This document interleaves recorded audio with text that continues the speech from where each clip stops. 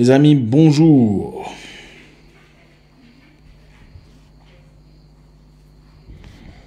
Aujourd'hui, j'ai beaucoup travaillé. Je suis très satisfait du résultat. Ça fait du bien. Je suis aussi en plein préparation pour beaucoup de voyages, commençant par le Burkina Faso, le pays du Grand Sankara. Je suis très excité, le pays des hommes intègres. On va aussi parler euh, du poulet à l'ail. hein. le poulet à l'ail.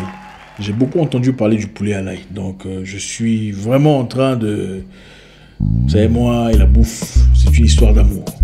Si vous voulez un moyen à travers mon cœur, proposez-moi la bouffe. Même par la poste, j'accepterai. Voilà. Donc après le Burkina, il y aura le Cameroun, le Sénégal, le Bénin, la Guinée, le Gabon, Brazzaville, Kigali. Il y a du travail à faire. Alors comment ça va? Moi je vais très bien. Très productif. Beaucoup de travail à faire encore ce soir. Je travaille énormément dans le noir. J'essaie de prendre du temps pour vous parler. Je devrais le faire maintenant, sinon je ne l'aurais pas fait. Alors aujourd'hui, on a reçu beaucoup de messages, on reçoit beaucoup de messages, mais j'ai remarqué un message récurrent, un message qui revient très souvent. Un jeune homme m'a écrit, euh, le monsieur qui m'a écrit aujourd'hui, m'a parlé de son salaire. Il disait, euh, tonton Zach, je gagne un salaire assez stable, un salaire adéquat, je gagne mieux que mes frères. Mais à la fin du mois, je suis toujours en difficulté. Je suis celui qui va toujours auprès des autres pour demander de l'aide. Et ce n'est pas génial. Ce n'est pas agréable. Pourtant, je suis celui qui gagne le plus d'argent chez moi, dans ma famille. Alors, puisque ce genre de message revient très souvent, je pense qu'il serait peut-être adéquat de faire un post, une petite vidéo là-dessus, espérant pouvoir toucher plusieurs personnes à la fois. Alors, ce jeune homme s'appelle Kwaku, apparemment ivoirien. Moi, je pensais que les Kwaku étaient ghanéens. Enfin bref, les Akan sont les mêmes peuples. Euh, Kwaku veut savoir que faire pour ne plus revivre les mêmes histoires chaque mois. Je sais qu'il y a beaucoup de Kwaku ici. J'ai été un Kwaku moi-même. J'espère qu'on pourra en tirer quelque chose. Généralement, on reçoit son salaire autour du 25, 26, 27, 28, 31. Enfin, ça dépend. Supposons que vous recevez votre salaire le 31. Les 12 premiers jours sont cruciaux. Qu'est-ce qui se passe? On change de comportement. Après avoir reçu son salaire, on adopte un comportement que j'appelle le jayzinisme. Le jayzinisme, ça veut simplement dire qu'on devient Jay-Z. Donc, emporter KFC, McDonald's, pizza à domicile, cinéma, fêtard à l'occasion de rien, champagne à gogo, window shopping et tout le bazar. Le jayzinisme est malheureusement un sentiment récurrent. C'est un peu comme quand vous avez très faim, envie de manger, et vous arrivez à la maison, on vous dit Désolé, ton cousin est venu, il a mangé ta bouffe. Qu'est-ce qui se passe? Vous vous fâchez, n'est-ce pas? Vous fâchez-vous. Quelquefois, vous insultez votre cousin même dans votre cœur, n'est-ce pas? Mais après avoir mangé, après qu'on vous ait offert autre chose à manger, après vous être rassasié, qu'est-ce qui se passe? Vous dites Ah, j'étais prêt à tuer quelqu'un à cause de la bouffe. Finalement, c'est pas aussi grave que ça. Et quelquefois, vous regrettez avoir sorti des méchancetés à l'égard de votre cousin, n'est-ce pas? C'est ça le jayzinisme. Et ça revient de manière récurrente. C'est pas seulement dans la bouffe, c'est aussi dans l'autre chose là. Quand vous avez envie de faire cette histoire-là, hein, vous avez vraiment envie de le faire. Et quand vous le faites, des fois vous regrettez. Vous vous dites, oh mon Dieu, qu'est-ce que j'ai foutu? N'est-ce pas? C'est ça le jayzinisme. Dans le salaire, ça revient aussi. À la fin de chaque mois, quand vous bousillez votre argent, vous regrettez. Surtout vers le 21, le 22, hein, quand il n'y a plus rien. Vous commencez à réfléchir, mon Dieu, comment je vais faire? Comment je vais payer le transport? Comment on va manger ce soir? Vous faites la promesse de ne plus refaire les mêmes histoires. Mais à partir du moment où vous recevez votre salaire, le jayzinisme revient. Pizza, KFC, McDonald's, cinéma à domicile, fêtard à l'occasion de rien. La deuxième chose qui arrive pendant les 12 premiers jours après votre salaire, c'est ce que j'appelle le thérésanisme, dérivé de la mère Teresa. Vous devenez soudainement la mère Teresa de tout le monde. Vous allez quelque part pour acheter à manger, ça coûte 45 dollars, vous donnez 50 dollars, vous dites, gardez la monnaie. Vous allez quelque part pour un service de 80 dollars, vous donnez 100 dollars, on vous donne 20 dollars, vous dites, gardez la monnaie. Vous envoyez quelqu'un faire quelque chose, il vous ramène 15 dollars, vous dites, gardez la monnaie. Vous entrez dans un shop, dans une boutique, vous ne regardez plus les prix. Vous prenez et vous allez payer. Et même s'il y a de la monnaie, vous dites, gardez la monnaie. Comprenez une chose, la différence que vous abandonnez entre les mains des gens, en vertu de rien. Vous allez quelque part pour un service de 45 dollars, vous donnez 50 dollars. On vous rend 5 dollars, vous dites non, gardez la monnaie. Vous allez quelque part acheter à manger et ça coûte 85 dollars. Vous donnez 100 dollars, on vous rend 15 dollars et vous dites gardez la monnaie. La triste réalité telle que l'a expliqué un penseur que je respecte, le salaire nous donne vraiment une dose de dopamine. On pense vraiment qu'on est devenu Superman ou qu'on a gagné au loto. Oublions que c'est seulement 1200 euros ou moins. Moi, j'ai vu des gens qui font tomber de l'argent, mais ne ramassent pas. On dit, monsieur, euh, on dit, ah non, non.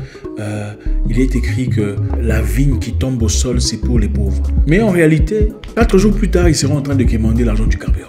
Vous allez manger entre amis, vous êtes assez proches et généralement vous partagez le résultat, mais vous refusez de le faire parce qu'on vous a payé. Si vous savez que vous êtes en quête de quelque chose, vous êtes en direction vers une destination bien claire, pourquoi ne pas dire, hé mon ami, on va faire 50-50 encore? Il n'y a pas de honte à ça. Il n'y a pas de honte à dire, mon cher, toi tu as combien là? Il n'y a pas de honte à faire ça. Mais beaucoup de gens, malheureusement, sont nimbés de leur ego. Ils ont besoin d'être respectés, d'être considérés. Ah, moi, je vais payer. C'est bien de payer. Mais il faut payer pour avoir de l'argent en poche pour demain, après-demain. Il ne faut pas payer pour commencer à quémander demain où je n'ai pas d'argent pour mettre les unités, où je n'ai pas d'argent pour le carburant.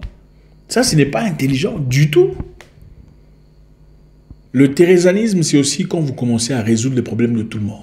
Monica s'est cassé l'orteil, vous envoyez l'argent pour l'emmener à l'hôpital. Patricia a acheté des nouveaux pamplemousses et il y a besoin de raisins, vous envoyez l'argent pour ajouter les raisins. Euh, Josepha a besoin d'argent pour aller voir un féticheur parce que son copain l'a quitté, vous envoyez l'argent pour aller voir le féticheur. Euh, vous avez compris un peu le sens. Vous ne pouvez pas résoudre le problème de tout le monde. Même la mère Teresa n'a pas pu le faire. C'est ça le thérésanisme. Toujours en quête de résoudre. Oh, tel a besoin d'argent pour se faire opérer. C'est bien, il faut avoir de l'amour, la sympathie, l'empathie. C'est très bien, c'est très important. Nous mourrons tous, c'est vrai. Mais on ne peut pas mourir comme si on n'a jamais vécu. Vous avez certainement des objectifs de vie, des idéaux dont vous voulez réaliser, des choses qui brûlent dans votre cœur depuis très longtemps. Mais il faut s'organiser. On ne peut pas y arriver, en tout cas pas avec un salaire normal, en donnant à tout le monde. Oh, tel doit faire une opération de dents, vous envoyez. Oh, tel s'est fait, vous envoyez. Oh, la maman de tel, euh, euh, euh, elle était morte il y a très longtemps, on va faire, mais on va faire une nouvelle célébration de sa mort il y a 12 ans, vous envoyez. Non. Il arrive un moment il faut se calmer. Vous n'êtes pas la mère Teresa. C'est vrai, quand c'est votre famille directe, euh, des fois, il faut fermer les yeux, mais quelquefois, quand ce n'est pas nécessairement votre famille directe, il faut savoir s'établir. Mais comprenez une chose, même quand il s'agit de famille, celui qui a l'argent est toujours aimé. Si pas aimé, flatté. C'est comme ça. Quand vous n'en avez pas, personne ne vous regarde. C'est la triste réalité. Rares sont ces frères et sœurs qui vous aiment argent ou pas, ou qui vous contactent argent ou pas. N'avez-vous pas dans votre famille une personne que personne ne contacte parce qu'il n'a pas d'argent? N'avez pas de ces nouvelles et personne ne demande après lui. N'avez-vous pas dans votre famille même élargie une personne qui a de l'argent et tout le monde sait ce qu'il fait dans la vie? Ah, il a ouvert une... Ah, il a aussi commencé un magasin ici. C'est comme ça l'être humain. Comprenez une chose. Il y a de ces gens à qui on ne peut pas dire non. Il y a aussi de ces gens à qui, quelquefois, il faut dire écoutez, en tout cas pour l'instant, ça ne va pas. Et même si c'est difficile, on va trouver un moyen alternatif.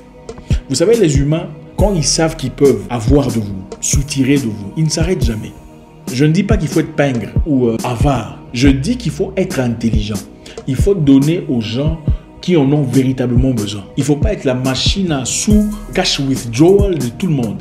Vous n'irez pas très loin. Surtout pas avec un salaire de 1100, 1200, 2000 euros ou même 3000 euros. C'est très compliqué. Maintenant, rentrons au jésinisme. Un de mes mentors m'a appris, un homme normal doit se battre pour avoir au moins 3 mois de son salaire en banque. Pour prévenir les moments difficiles. Parce que la vie est compliquée à un moment donné, vous pouvez vous retrouver dans un moment très compliqué, dans une situation brusque, brutale, et vous aurez besoin de votre argent. Donc il faut se battre, il faut sauvegarder, il faut épargner de l'argent pour en avoir au moins trois fois son salaire en banque. Le jazzinisme, c'est quand vous voyez quelqu'un acheter du champagne. Acheter du champagne pour passer à la maison en train de danser lui-même. Mais deux jours après, il a besoin d'argent de carburant. Beaucoup de gens vivent comme ça. Vous le verrez en train de, en train de mais en réalité, c'est compliqué ça sert? À quoi ça sert de montrer aux gens qu'on est bien, qu'on vit bien, qu'on fait ça, qu'on parle là, qu'on côtoie les lieux les plus huppés de la ville, les environnements les plus fins de sa résidence, mais pour en réalité vivre au crochet des autres? C'est honteux. La maturité, c'est savoir épargner, savoir prioriser ce qui est priorité. Tout est bon à faire. Hein? La plupart, en tout cas, des choses sont bonnes à faire. Mais tout n'est pas utile.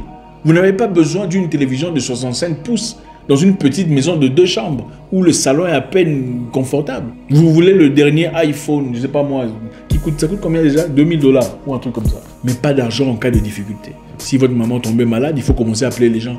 Eh, je suis en difficulté, eh, aidez-moi. C'est honteux. Quand vous dépensez 100 dollars ou 200 pour prendre des photos professionnelles, des photos bien faites, tirées à quatre épingles, pour mettre sur Instagram, ça vous sert à Avec un salaire de 1200 euros. C'est quoi l'objectif? Oui, si l'objectif est que votre image vous apporte de l'argent, on pourrait tout à fait comprendre. Je pourrais aussi comprendre si vous n'avez pas d'ambition de vie. Vous n'avez pas besoin d'entreprendre ou de multiplier votre argent. Vous êtes salarié, vous avez choisi cette vie, c'est comme ça que vous vivez et vous ne comptez pas changer cette situation. Là, je comprends. Mais si vous avez besoin d'avancer financièrement, vous avez besoin d'autonomie, de liberté, pourquoi dépenser 100 ou 200 euros à prendre des photos professionnelles s'il n'y a aucun moyen de récupérer? Vous gagnez un peu d'argent, vous faites des voyages par business class. Inutilement étant capable de faire un voyage économie. Jayzinisme. Même Sankara en a parlé. Sankara Thomas a dit pas de voyage de business class, même pas pour les membres du gouvernement. Parce que celui qui arrive à destination en business class arrive au même moment que celui qui arrive en économie. C'était un président de la République. Si vous avez assez d'argent pour le faire, génial. Mais si c'est pour vous plaindre plus tard, ça sert à quoi? L'appréciation du monde ne représente pas votre réalité. En fait, je réalise que beaucoup de gens attendent une grosse somme pour finalement changer leur vie, ne comprenant pas que c'est progressivement qu'on avance, c'est progressivement qu'on accumule. Les gens ne veulent pas s'aimer, ils veulent récolter. Les gens ne veulent pas bosser, ils veulent le résultat. Beaucoup veulent porter des couronnes pour des batailles qui n'ont pas livré. Tout le monde veut gagner au loto, mais personne ne veut travailler progressivement pour avoir de l'argent. L'argent s'accumule. L'argent que vous donnez à n'importe qui, que vous laissez à n'importe qui, l'argent que vous ne récupérez pas quand c'est nécessaire, pourrait représenter quelque chose au fur et à mesure. Donc, mes amis Kwaku bien-aimés, coupons les dépenses, les dépenses inutiles, les emporter. KFC, McDonald's, Burger King, Black Burger, pizza à domicile, cinéma, fêtard à l'occasion de rien, champagne à gogo, ça ne sert à rien. Si vous comptez véritablement devenir quelqu'un sur le plan financier, ça ne sert à rien. Deuxièmement, donner, récupérer l'échange. C'est important. Ne récupérez pas tout, mais récupérez l'échange. Si vous gagnez 1000 euros ou moins, il faut récupérer l'échange. Il ne faut pas faire le Jay-Z si vous n'avez pas d'argent. Simplifions-nous la vie. Jay-Zinisme, Thérésanisme, tuons ça. Merci infiniment. J'espère qu'on a appris quelque chose. Ça fait toujours plaisir. Laissez un commentaire si vous avez quelque chose à rajouter ou euh, une idée à nous proposer. On l'accordera l'attention nécessaire. Nous lisons vos commentaires depuis un temps. Nous savons aussi que YouTube, depuis un temps, a commencé à désabonner les gens. Donc, on vous encourage de jeter un coup d'œil si vous êtes toujours abonné. Sinon, vous savez quoi faire. C'est-à-dire, si vous n'arrivez pas à liker nos vidéos, je vous prie de vous désabonner, de vous réabonner et d'activer la notification. Et essayer de liker. J'espère vous parler encore très bientôt dans une nouvelle vidéo.